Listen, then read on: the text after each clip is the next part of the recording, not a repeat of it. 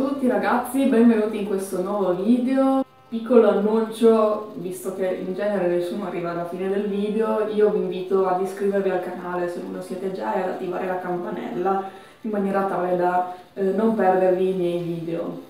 Detto questo, continuiamo con il video. Siamo qui per parlare di soluzioni low cost per sopravvivere ad un soggiorno milanese. Se non avete visto il video precedente, appunto vi faccio vedere quello che ho fatto io nella mia giornata intera a Milano, quindi le cose principali da vedere e diciamo anche il tour che ho fatto io. Potete seguire, diciamo così, la mia giornata attraverso il video. In questo video invece vi faccio una lista delle 7 cose da fare gratis a Milano, diciamo per coloro che eh, amano viaggiare low cost e che mm, non vogliono spendere troppo.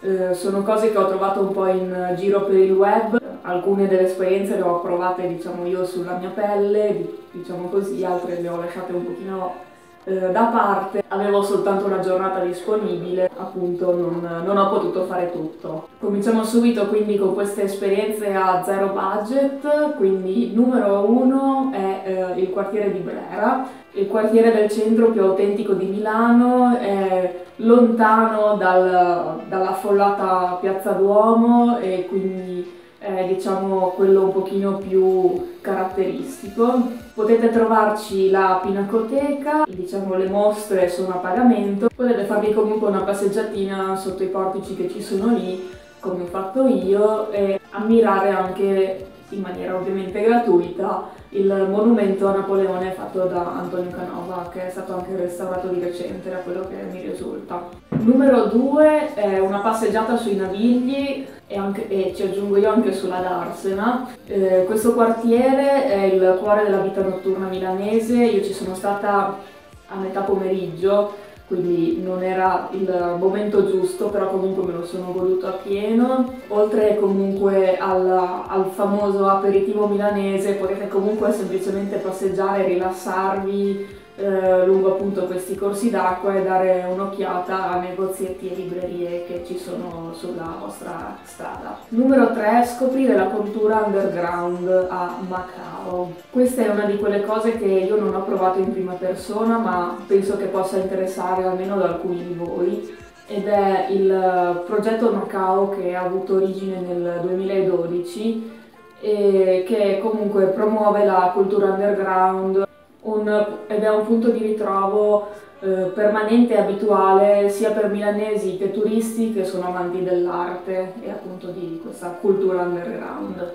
Numero 4, Parco Sempione, è il più celebre parco milanese in cui è possibile trovare il, pro il proprio angolo di pace lontano dal trambusto cittadino.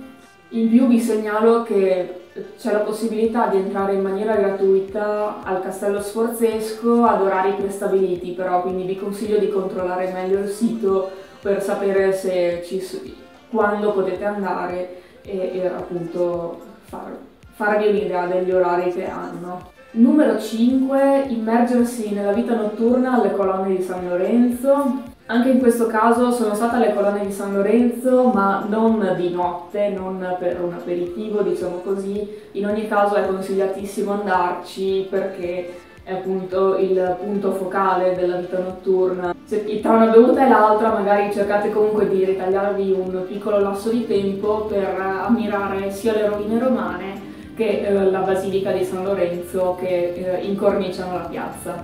Numero 6 ammirare le mostre fotografiche della galleria Carla Sozzani. In questo posto trovate una fantastica galleria fotografica all'interno della quale ruotano una serie di mostre temporanee di grandi fotografi di fama internazionale. Numero 7, il Duomo.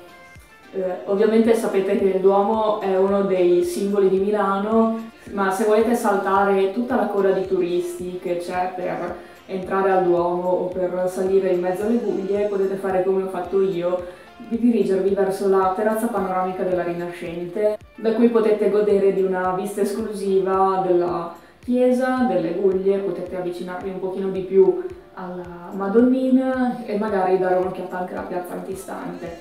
È gratuito, non c'è moltissima gente e se volete potete anche prendervi qualcosa da bere appunto sulla terrazza. Spero che questo video, unito anche all'altro che avete visto la settimana scorsa, vi siano potuti piacere. Io vi lascio con il compito di mettermi un like se vi è piaciuto e uh, magari anche di condividere questo video con i vostri amici.